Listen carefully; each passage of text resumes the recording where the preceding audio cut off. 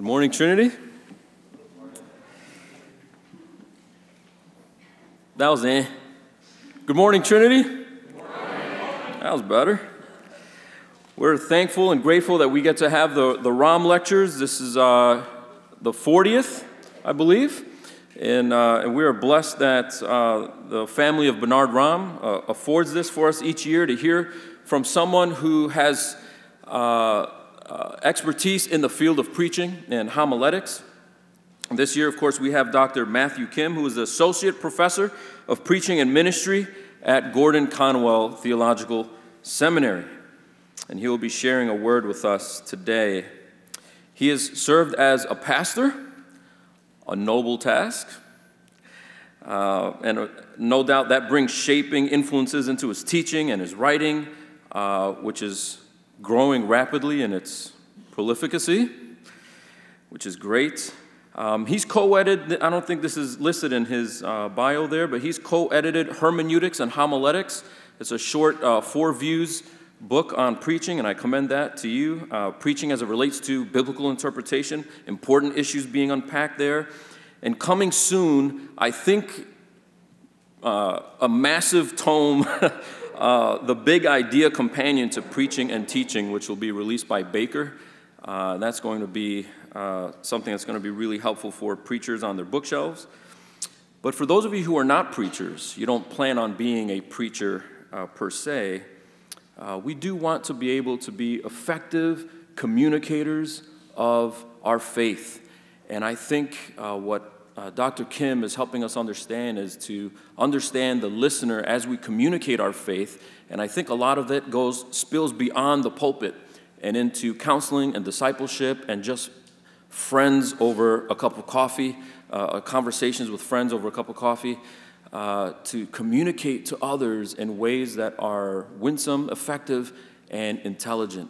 So, would you join me in welcoming Dr. Matthew Kim?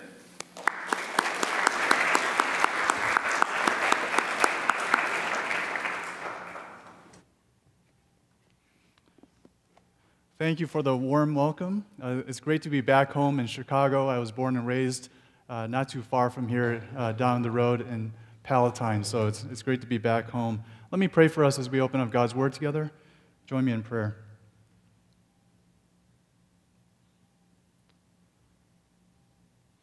Father, we thank you so much that as we have just sung, you are a faithful God. We thank you that even waking up this morning, we can testify to your goodnesses in our life, the kindness that you have shown to us, your mercy that is new every morning. And your faithfulness is not just here in this room, it, it expands beyond this country and to the ends of the earth. You are a faithful God. And so, Lord, as we come to your word now, I pray that you would help us to see new things in your, in your word, that we might be able to see who you are more clearly, that Jesus might become even more real to us today as a result of listening to your voice. Father, use me to be faithful to your word. may the words of my mouth and the meditation of our hearts be pleasing to you, O Lord, our rock and our Redeemer. May you receive all of the glory, honor, and praise. For it's in Jesus' name that we pray. Amen. As I just shared, I was born and raised in Chicago, and I was the oldest of three boys. And in my family, I was the one who could not do math. Now, the stereotype exists that all Asians are good at math. And when you have a family of 70 extended family members that come over for Thanksgiving every, uh, every year to your parents' home in Palatine, and it's sprawling with cousins and aunts and uncles, and they're asking you uh, when you come back from college, so, Matt, what are you going to study? And in my family, we had, um, back then, a, a, senior vice president for Motorola, a science genius, uh, accountants, mechanical engineers, people who were all good at math. And they looked at me and asked, in front of everyone, So, Matt, what are you going to major in for college? And I had decided on a history major.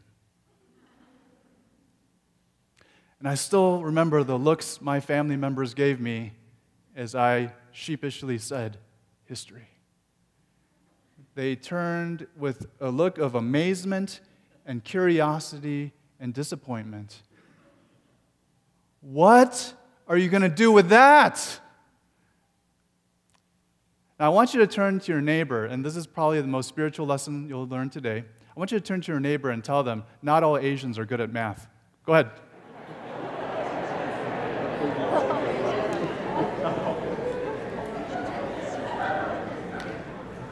not all Asians are good at math. Not all Asians are good at math. Not all Asians are good at math. Now I feel a lot better now. Anyone not, else not good at math in the room? All right. Praise God for you. Praise God for you. I love you. Thank you so much for admitting that. That's wonderful. So, God has created all of us with different gifts, different talents, different interests. And for those of us uh, who may enjoy English and sociology and history, uh, eventually landing on that history major led me to a lot of reading, of course. And one of the books that I read for class was Utopia by Thomas More, written in the 1500s. And in this fictional tale of this perfect place, this utopia. He, he writes about how uh, there uh, is a, a perfect place where people would come and you didn't have to lock the doors on your, on your house because you expected everyone to not steal from you and, and, and harm you. You didn't have to lock your car door. You, you could go to a, a bin, a storage warehouse where you can get all your food, and you were expected not to steal or take too much. Uh, I'm sorry for any pre law people, but there were no attorneys in this utopia because people knew the law. They understood how a society would operate in a, in a moral society. And so this utopia is written about, and I got excited about that when I was reading it. But then I looked around, and, around the world and I saw a non utopic place, a place of fallenness, of sin, of brokenness, of weeping, of pain, of sin of disconnection with the Lord.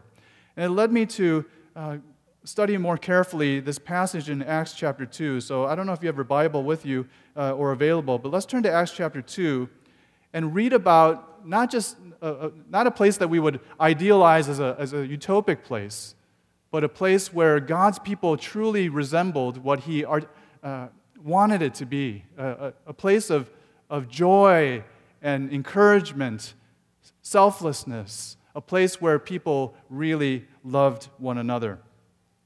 So in Acts chapter 2, starting at verse 41, let me read for us.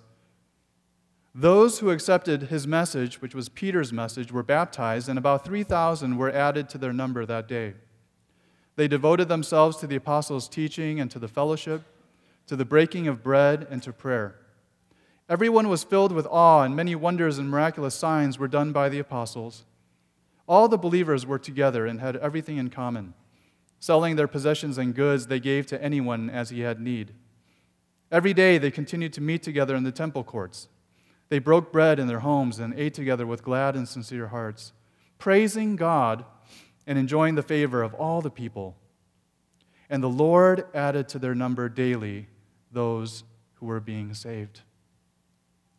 If you remember from Acts chapter 2, the promised Holy Spirit had come. Jesus promised in John chapter 14 that you would have, the disciples would have a comforter, someone who would walk alongside of us in the Christian life, that we weren't alone in the Christian life, that the Holy Spirit would come and infuse power and life giving transformation for the disciples. As you know, in John's gospel, the disciples were concerned Jesus, where are you going? How could you leave us? How could you abandon us? And Jesus reminds them, I'm going to send you just wait. I'm going to send you my spirit. And your spirit, this Holy Spirit, will, will be with you. And He's going to encourage you, He's going to strengthen you, He's going to help you persevere in the Christian life. That even if you face persecution for me, I will be with you. And this promised Holy Spirit would come. And so, prior to this reading that we've just done, we see the work of the Holy Spirit. And Peter's message was one of conviction wanting the people to believe, repent for their sins, and trust in, their, in this Jesus whom they had just persecuted and killed. And so it tells us earlier in this passage, passage that the, the people were cut to the heart. They were transformed and they repent. And about 3,000 believers put their faith in Christ that day. So, what do you do when you had just a small group of disciples that now become 3,000 church members? Put yourself in the shoes of the disciples. What would you do if 3,000 people came crashing through these chapel doors and wanted to be a part of this new ministry, this new life in this person called Jesus Christ? What would you do with them? I'm so glad you asked. Let's take a look and see. Verse 42. They devoted themselves to the apostles' teaching and to the fellowship, to the breaking of bread, and to prayer. The early church understood that apart from God's word, apart from fellowship, apart from prayer and worship, that the Christian life would have less meaning. It wouldn't be uh, viable for them to, to continue in a persecuted society, that these four elements would help them and enable them and equip them for the Christian life ahead. The first thing that the writer Luke reminds us of is that they were devoted to the apostles' teaching. They were devoted to Jesus Christ, his life and ministry. They were devoted to reminding each other of his return. They were reminded of his teachings on moral living and ethical living. They were reminded of Old Testament passages that spoke of Christ. And all these teachings, they continue to remind each other. And I wonder, dear brothers and sisters in Christ, have we lost sight of the Word of God, the precious nature of what God has given us in His Word? And being at a Christian university, it's easy, I'm sure, to lose sight of the gospel. It's, it's easy to lose sight of how precious this book is. And it becomes uh, just another textbook. And the apostle is reminding us today, this author Luke, who, who knew the ministry of Christ so well, he reminds us of how important it was for the early church members and people today to be in the book, to be in the Word of God daily to be teaching each other and encouraging each other with the Word of God. As a pastor in Colorado, I had an opportunity to go to China to do short term missions. And one of the things that the host uh, had, had asked me to do was prepare a Bible study. And so I prepared um, a, a study through the book of Nehemiah. I thought that if I got through 13 chapters of the Word of God, that would be plenty of material. And in my church in Colorado, where I was a pastor, if I taught for about 30 minutes uh, into a Bible study, people would start getting really tired and, you know, they'd get antsy. You know, and then you get to about 45 minutes, and then people are starting to raise their hand and saying, Hey, Pastor Matt, you mind if I go to the bathroom? And I say, Yeah, sure. And then we never see them again. And this was the kind of atmosphere that I had been ministering in. And so when I got to China, I thought, you know, 13 chapters of Nehemiah, even if we spent 30 minutes on each chapter, that'd be plenty of material to work with. And so I taught, and I taught through Nehemiah's book, trying to encourage the young believers, these second generation Christians in China, what it meant to be part of a community, how to build the community together, and this, this wall of Jerusalem, and what that looks like for these people, these young Christians, to build um, their own community there in the midst of persecution.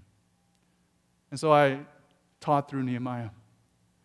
And I remember uh, after about 45 minutes, I was starting to get a little antsy myself. Maybe it was the jet lag.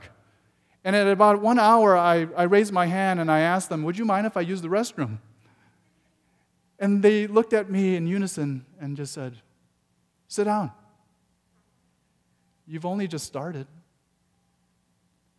And for the next several days, eight hours a day, I went with them systematically as much as I could through the Bible.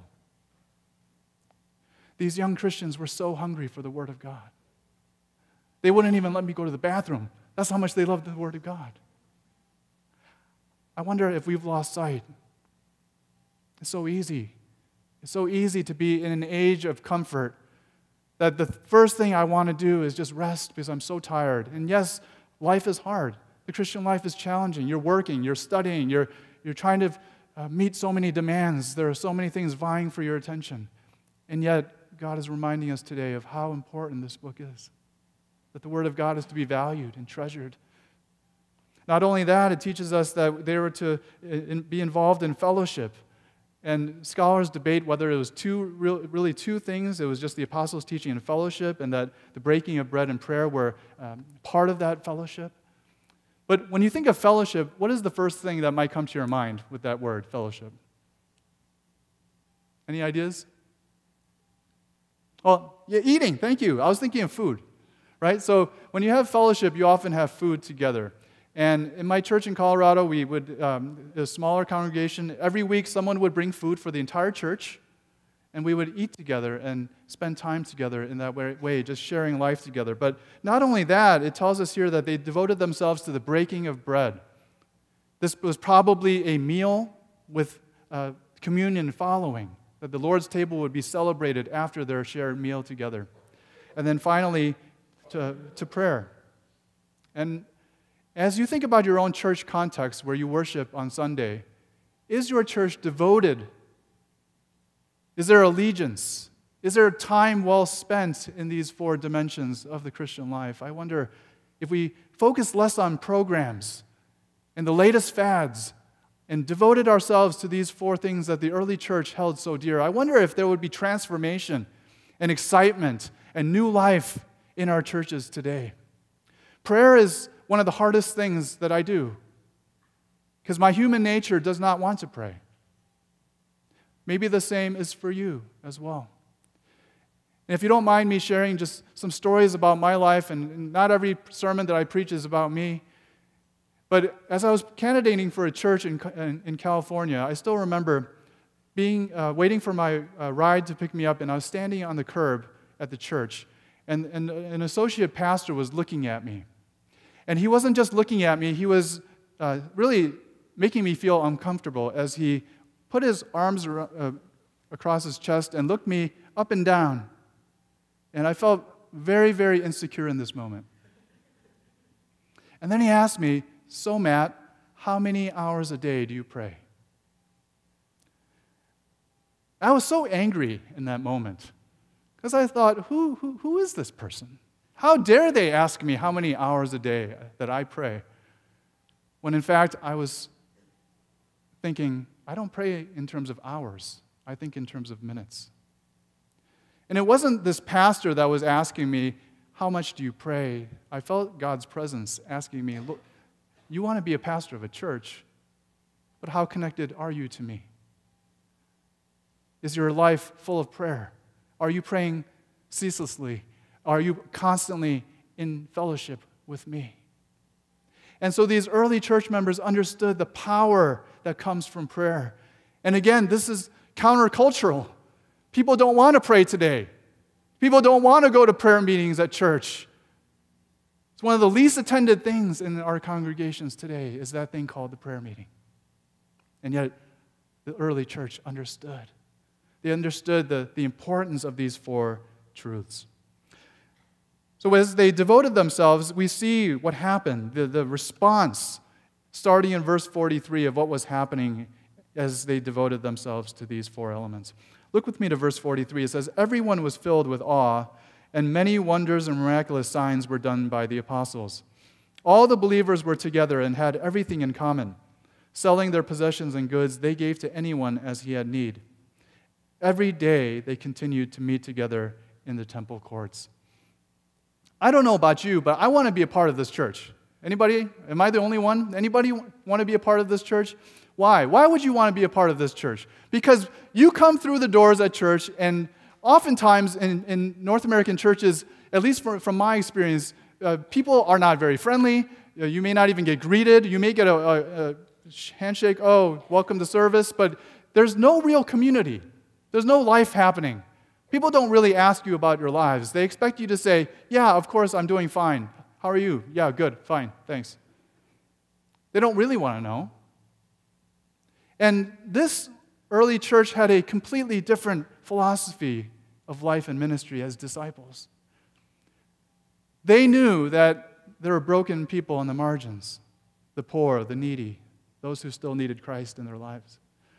And yet, what does the teaching tell us? It tells us that they were absolutely not selfish, but selfless.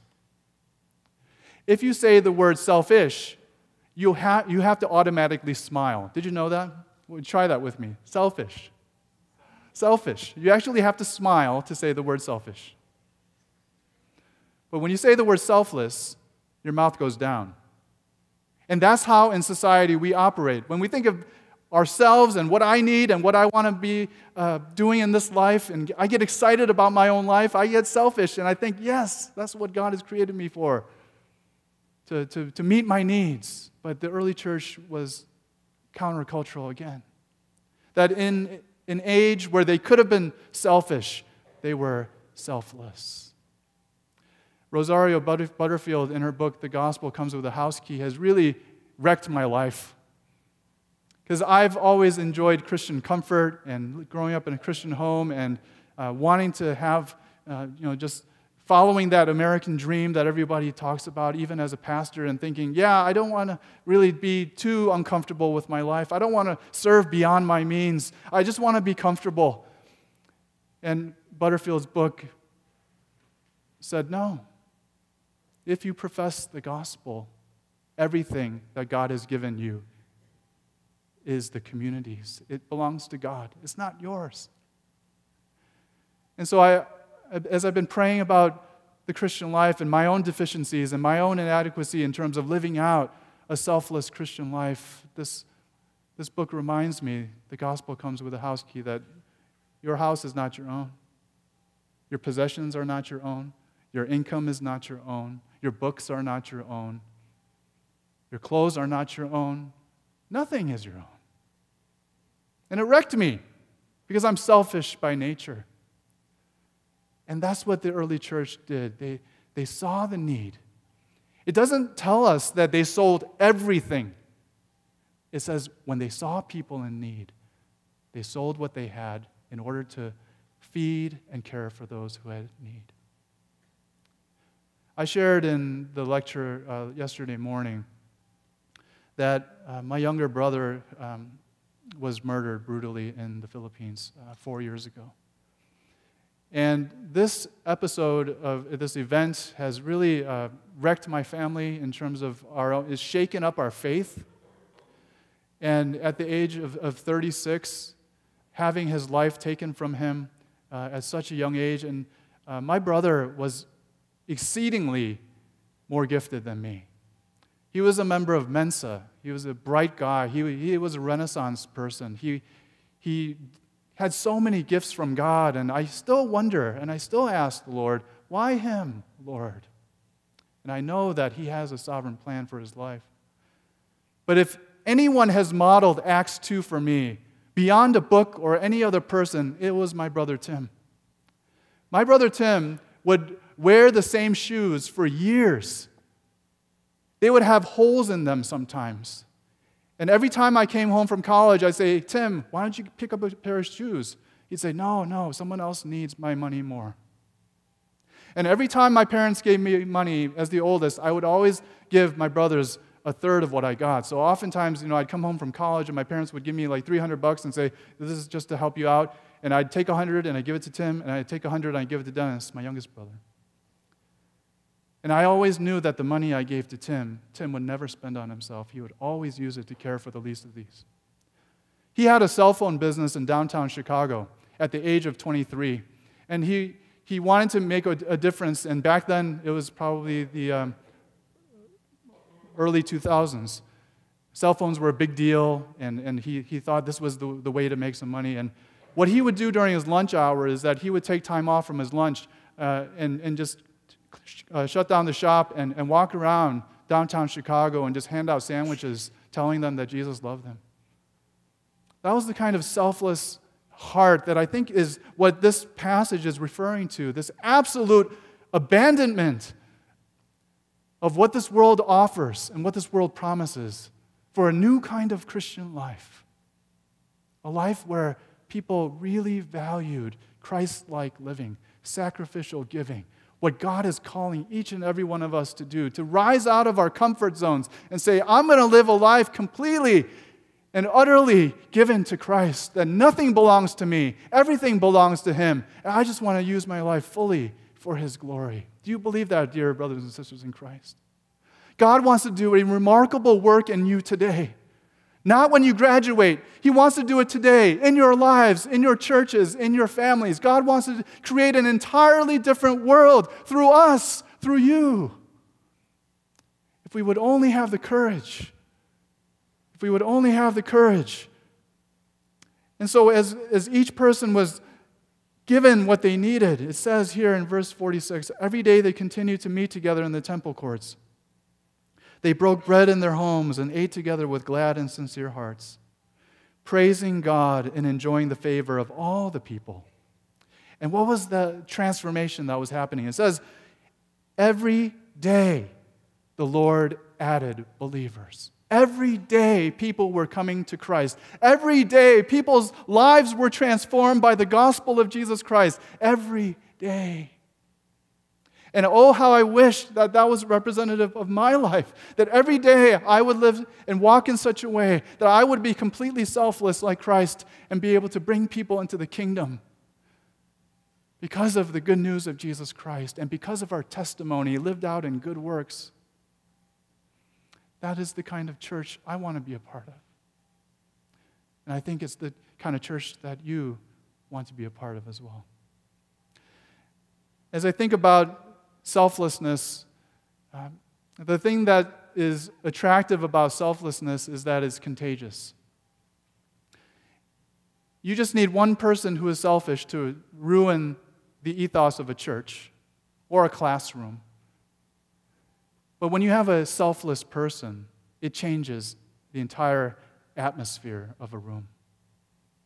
It changes the entire culture, the way the things that people, the way things are spoken uh, about and how people relate to each other. When, when people are selfless, there's something attract, attractive about that. We want to be near selfless people.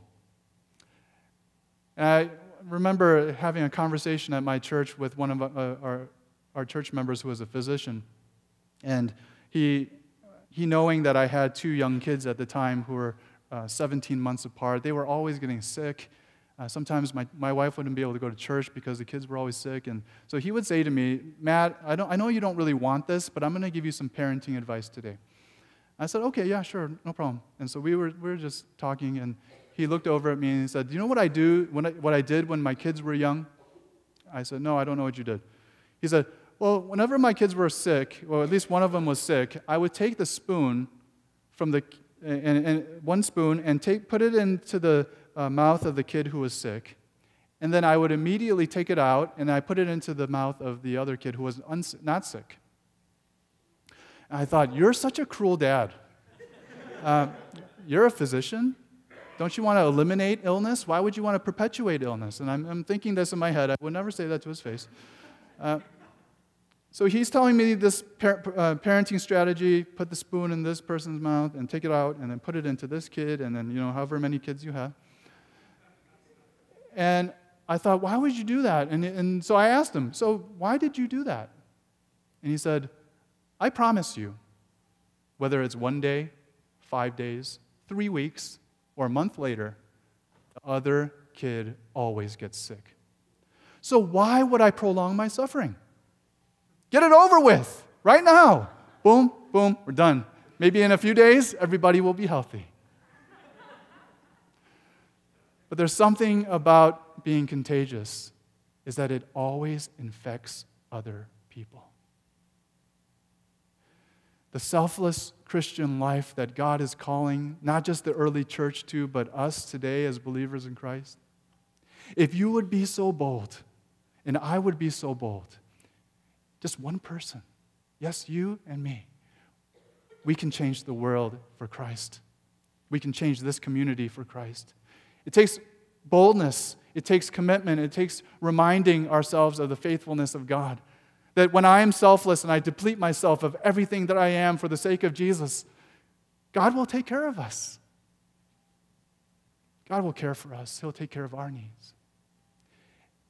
And as we present the gospel to people, we don't just present the good news. Of course, we do that clearly and effectively, and we want people to know that Jesus lived a perfect life, that He, that he died that he rose again, that he is coming back. We present the gospel to them clearly of the sin that needs to be forgiven, the broken relationship between us and God that needs to be mended. but we also do it with our lives. Dear Trinity, I pray for you that even one person today in this chapel would be so countercultural that you would be able to exemplify for the world what this looks like to be a selfless Christian. Because if we boil it down, these four aspects of learning, fellowship, caring for each other, and worship, as one scholar has succinctly put it, it tells us that Christian community is contagious when it's selfless. Will you say that with me? Christian community is contagious when it's selfless.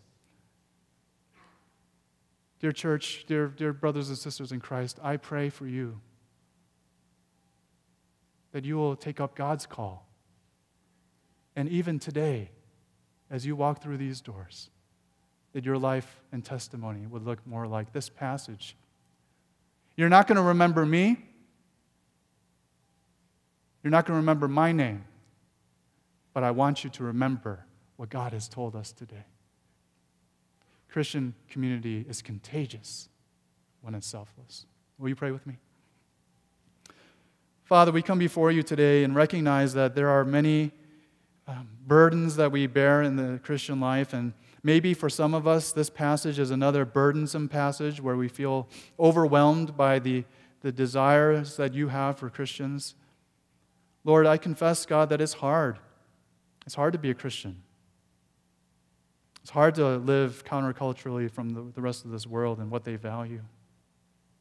Father, I pray for my dear brothers and sisters in Christ here at Trinity that you would help each one of us to be reminded of what's most important in the Christian life, that you would help us even through this passage, to reorient our own priorities.